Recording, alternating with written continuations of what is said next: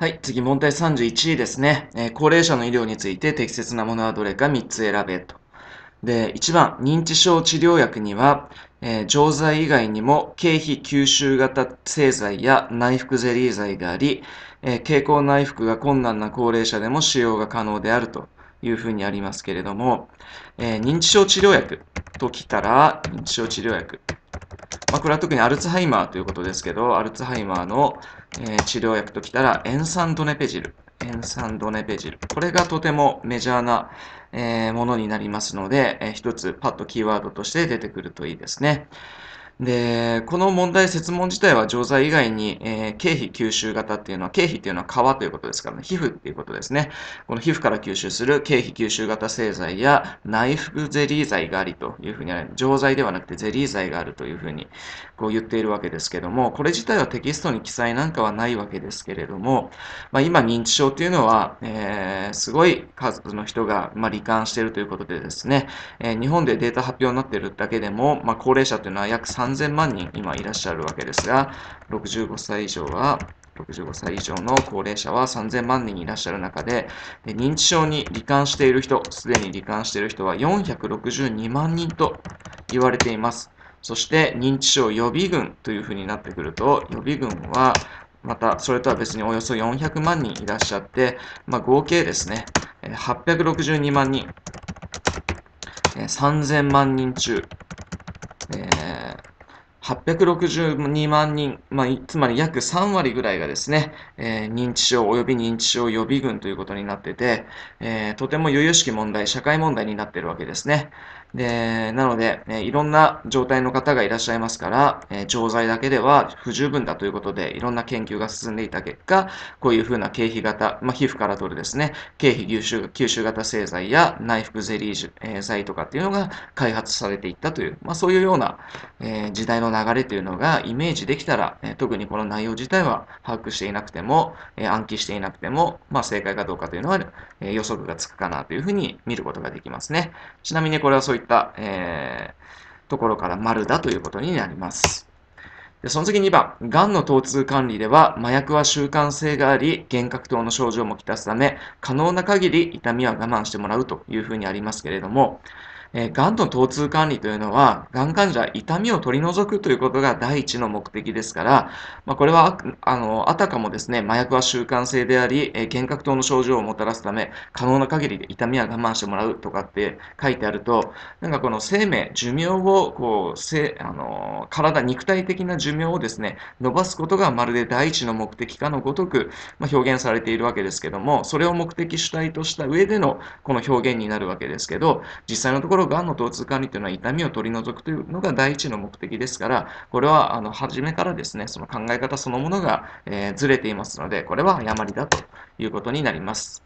まあ、ちなみにですね、麻薬は習慣性があり、がん見学等の症状も来たすためというふうにありますけれども、まあ、実際のがんの疼痛管理で麻薬性製剤を使うということに至ってはですね、あの特に、えー、使用時期が早か早かったからといって、こういうような幻覚症状をもたらすとかですね、えー、そういったような麻薬の禁断症状を、えーきたすといったような報告というのは実際のところは今のところ見られていませんから、これは実際のところ関係ないというふうに思っておいても、問題ないですね。ということで、2番は×だということになります。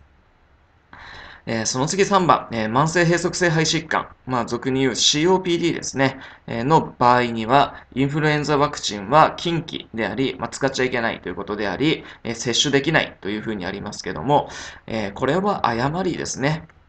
そんなことないです。えー、慢性閉塞性肺疾患の場合でもインフルエンザワクチンは打っても構わないと。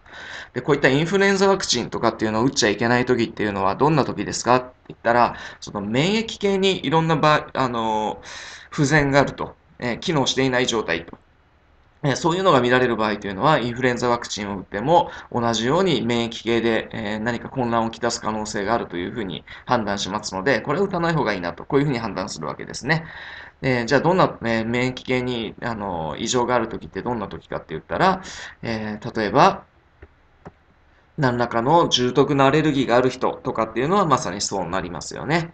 えー、あとは免疫系の疾患っていうのはもう非常に多岐にわたるので、ここで具体的に、えー、何か挙げることはできませんが、まあ、一つ例を言うとしても、あのー、リウマチとかもそうですよね。自己免疫、え、疾患が原因になりますので、そういったような、それの激しいものとかっていうのに関して言うと、え、このインフルエンザワクチンを打つことによってですね、それが暴走すると、え、過剰反応するということが考えられますので、これは接種を控えた方がいいということになりますけれども、え、この慢性閉塞性肺疾患というものに関して言えばですね、え、特にあのインフルエンザなんかっていうのがかかってくると、え、重篤化する恐れ、重症化する恐れというのが、え、ありますので、え早期に打って対応することが、え必要だというふうに一般的には言われていますね。なので、これは×だということになります。えちなみにこの COPD、慢性閉塞性肺疾患というのは、肺気腫と、え肺気腫と、あとは、え慢性気管支炎この二つを合わせたものというのが、えー、慢性閉塞性肺、えー、慢性閉塞性肺疾患、えー、COPD とと言いますので、えー、これも合わせて覚えておくといいですね。で、その次4番、えー、非ステレ非ステロイド性消炎鎮痛薬を内服している場合には、腎機能障害や上部消化管出血の恐れもあるので、糖尿やタール弁などの出現の有無を確認するというふうにありますけども、えー、非ステロイド性消炎薬、非ステロイド性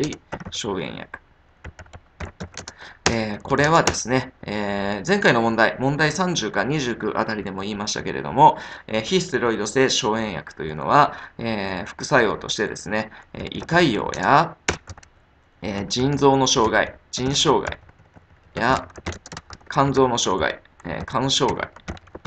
や気管支喘息。こういったものを起こすというふうに言いましたね。でこういったものを起こしてくるわけですけれども、えー、まあ、いかように限らず腸なんかでもですね、障害を出すことっていうのが出てくることというのがあるわけですが、で、まあ、上部消化管っていうのは、えこの胃とか気道あたりのことを言いますので、えこの辺で出血すると、上部消化管出血というのは、上部消化管出血というのは、これはタール弁というふうになります。ちなみに下部消化管。下部消化管というのは腸とかのことですね。腸とかで、えー、出血をすると、これは鮮血弁。赤い弁ですね。鮮血弁ということになりますね。で、ちなみに、えー、腎障害では、えー、ここに書いてある通り、え、出てきている通りですね、糖尿。尿が、おしっこがあんまり出ないというやつですね。糖尿というのをもたらしますので、えー、この説問ですね、非ステロイド性、えー、消炎鎮痛薬を内服している場合には、腎機能障害や上部消化管出血の恐れもあるので、糖尿やタール弁などの出現の有無を確認するというのは、えー、まさしく正解ということになりますね。非ステロイド性消炎薬というのは、え胃潰瘍を起こすと、腎障害を引き起こすと。胃潰瘍の場合とかっていうのはタール弁というのが出てくると。まあ、黒色弁ということですよね。黒い、え血というのが混ざったような、そんなような弁ということで、タール弁が含まれると。で、ね、腎障害の場合は防尿になるので、防尿というのを引き起こすということですね。なので、この4番は正解だということになります。で、最後、高齢者のめまいについては、起立性低血圧、不整脈などの全身性疾患や内服薬が原因となることもあるため、丁寧な問診が不可欠であるというふうにありますけども、これもその通りですね。めまいに関して言えば、まあ、薬とかが原因になることもありますし、その体調が原因の場合や、えー、脳血管障害とか脳の病気が原因になる場合などがありますけども、この低血圧に関しても不整脈に関しても、え両方ともですね、えめまいの原因としては考えられますので、これは丸だということになります。えー、よって、えー、第31の正解は1番と4番と5番の3つということになりますね。えー、解説は以上です。